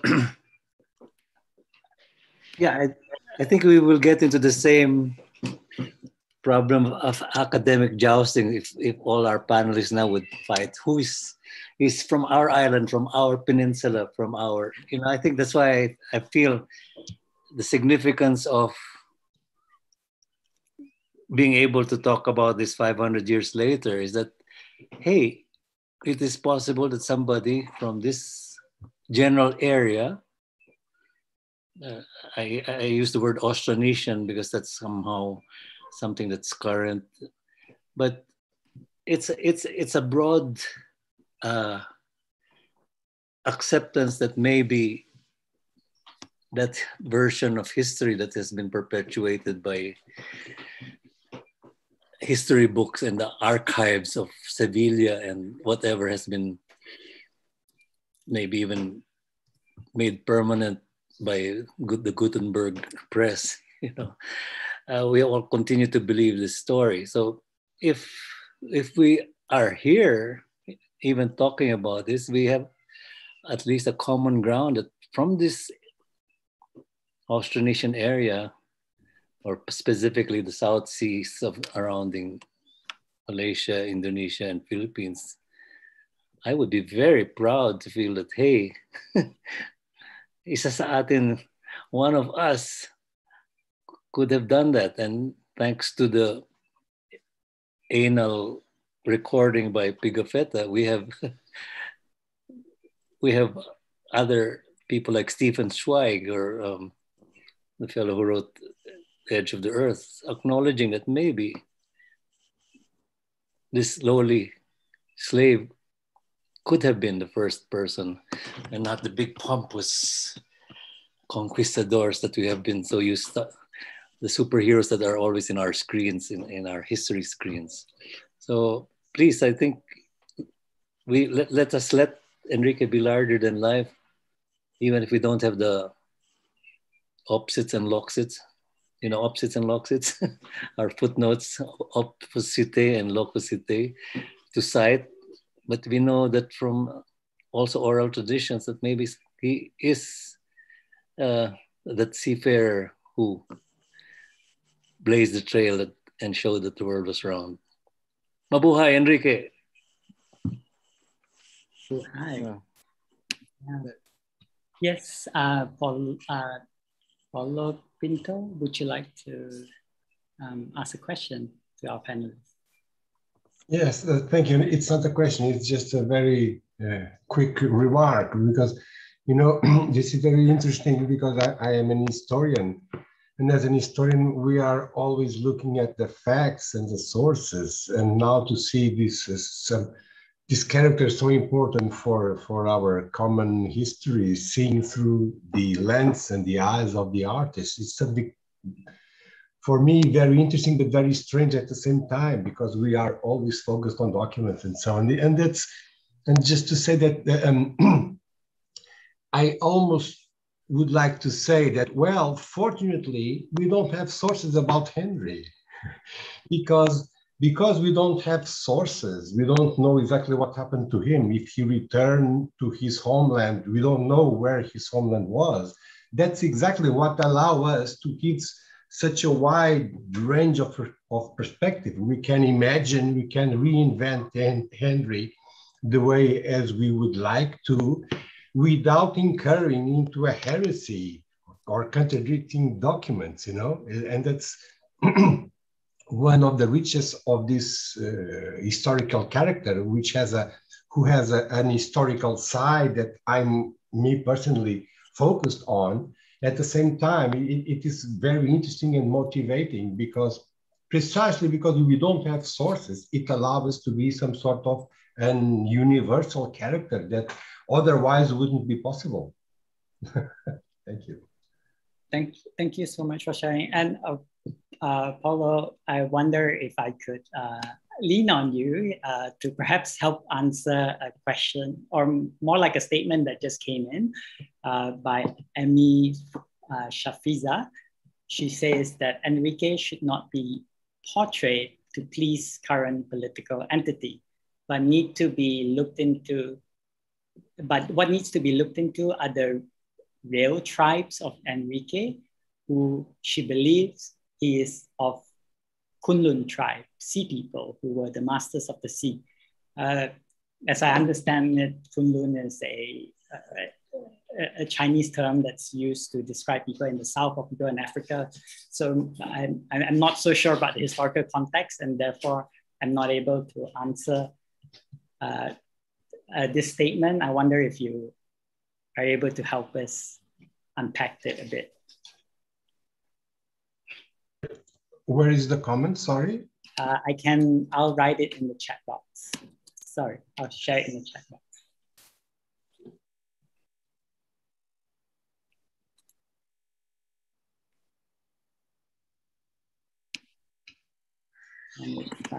Well, I, I, I, I'm not, well, I don't have any information about this. I, I, well, of course, anyone can believe he's from a Kunlun tribe or well, or not. Uh, uh, uh, uh we are we are uh, we are open to suggestions. So of course, it's possibly plausible, but uh, what we I know and we know what sources say, and so it's it's more or less common knowledge of what could be his his his origin from, from Sumatra.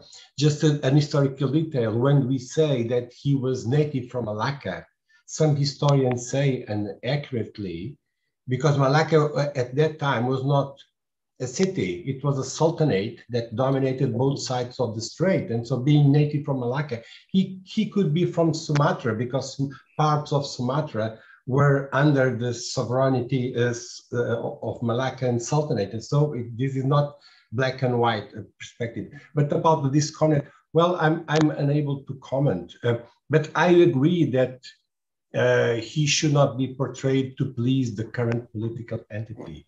Actually, he may be used and be portrayed as we would like to be. And it's natural that political entities would like to present him in favorable uh, colors for, uh, and so we can, it's natural that the, the, Philippines or Malaysia or the Indonesian claim the, this uh, figure, this, this, this character of, of, of Enrique as their own. And, and, and uh, well, it's, it's politics.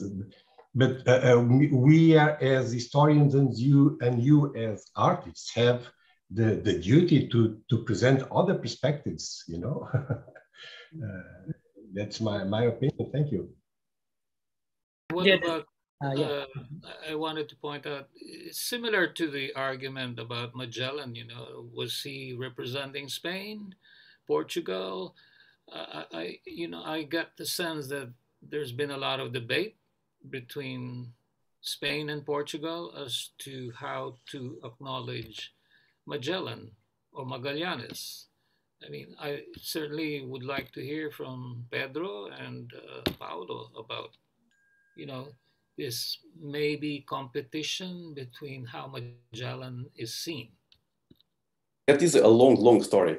it's a long, long story with, with some friction, you see, between Portugal and, and Spain, and, and of course, Paulo after can can put more more information about it. But as I told you before, uh, in terms of um, information about these two characters, even in Portugal, maybe by maybe political reasons, the, the figure of Magellan is put a bit aside. In a certain way, maybe before the Portuguese uh, feel a bit betrayed by, by, by, by, Magellan because uh, uh, from Portugal he moved to Spain. He presented his project to the to the king of Spain, and the Spain sponsored uh, the, the, his, his journey uh, uh, to the other side. So, and of course, in the past, some uh, some uh, historians or some uh, governmental uh, put a, a, bit this figure, this this captain, a bit aside uh, in a certain way, when I digging about this this process doing the, the documentary, I understand some motivation of of of, of Magellan. Uh, we don't know if it's true if he, if he present his project to the king of Portugal or not. Maybe he talk about it, and the, and the king of Portugal say no. Uh, we cannot forget that during many times Magellan uh, try to, to have a, a, better compensation by the service that he, he did in the service of Portugal. And uh, most of the times the king refused his compensation. So we don't know what happened on the meeting if he go there and try once more, give more compensation and maybe a, a, a higher rank and, and in a certain way present the project. Uh, but uh, but I, I, I uh, the way I see Portugal for these 500 year, years uh, uh, uh history, uh, years of, of history, um, I believe that Magellan, in a certain way, he feel frustrated in Portugal, okay, and move to, to the other side. Of course, this creates some problems even between the King of Spain and the King of, of Portugal. Uh, someone, someone say that the, even the King of Portugal, Dom Manuel, tried to catch Magellan after he leaves Spain in in uh, uh, okay. Um, but uh, yes, and in, in a certain way, this create a shadow during these years about uh, about uh, Magellan and and these motivations. But of course, I think Paulo is maybe the person that can put more information about this this conflict between Portugal, Spain, Magellan, and this and this journey. No, it's an old it's an old story. There's no need to, to just to, to just dig in this. Well, we got Portugal and Spain. Spain was uh, at that time uh, well uh, a, a, huge power, and Portugal a small country, and that took advance in the voyages of exploring and, and reached Asia, so and so and so. This. Uh, what I would like to say, uh, uh, one just one detail about Magellan that some sometimes people ask about, well, why Magellan did go to Spain? Did he betray or not his king? Well, this it doesn't, doesn't it didn't make much sense, this sort of ideas in the 16th century. It was usual for the Portuguese nobleman that felt that they were not rewarded by the Portuguese king to just go to Spain and put their in, and to put under uh, the, the, the, the, the service of the king of Spain it was something common between Portuguese fidalgos, Portuguese noblemen uh, that didn't feel rewarded, and, and, and from the other side, more or less the same.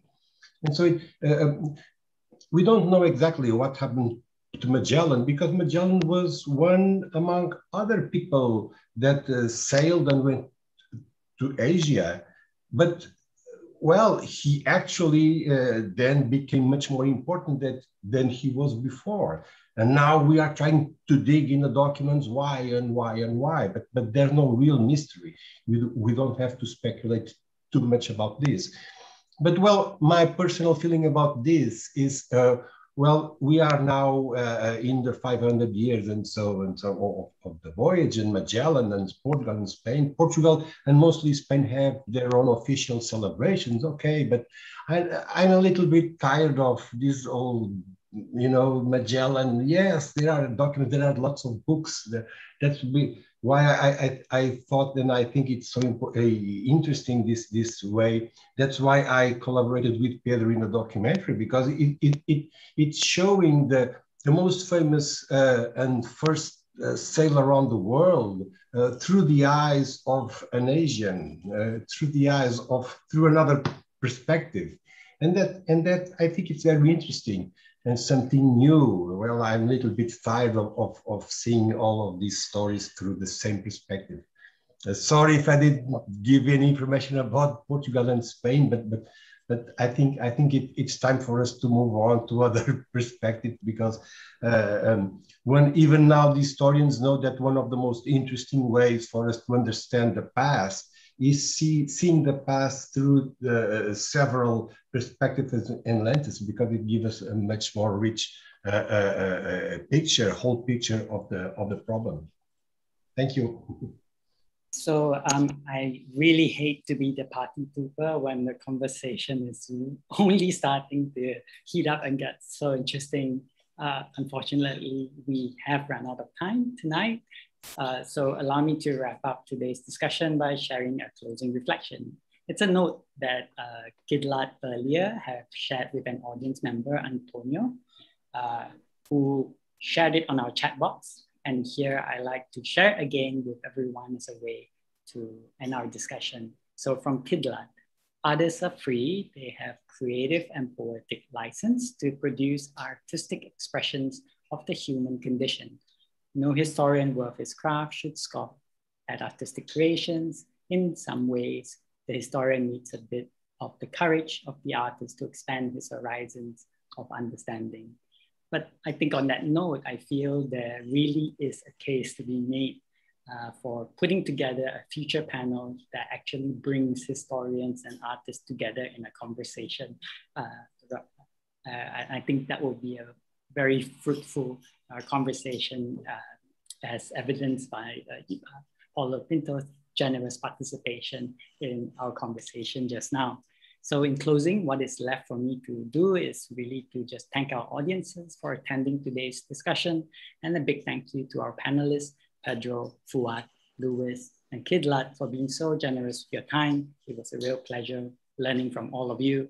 I'd like to also thank Noel and Nikki for bringing all of us here together to to, to Tambe, to Tambe over Zoom. And a big thank you to the organizing committee of this highly pertinent conference for doing an excellent job in moving ideas across borders of nations and languages. Um, have a good evening and a wonderful weekend. Stay safe, everyone, and please get yourself vaccinated. Thank you very much. Thank you. Thank, Thank you, very much. Bye bye, Simon. Thank you very much. Hope you see you, hope you see everybody in Malaysia, Kuala Lumpur soon as possible.